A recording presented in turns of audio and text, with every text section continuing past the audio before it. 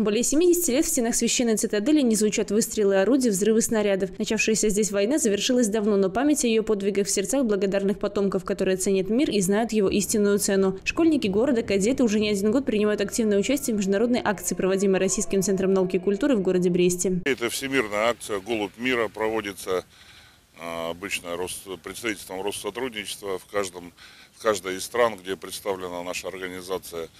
Целью является м, почтить память бойцов Великой Отечественной войны, которые не вернулись с полей сражений.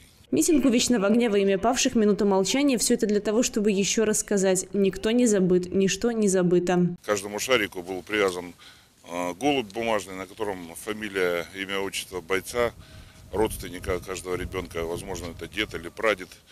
И таким образом а, ребенок чувствует ментальную связь со своим дедом, наверное, хочется верить в это.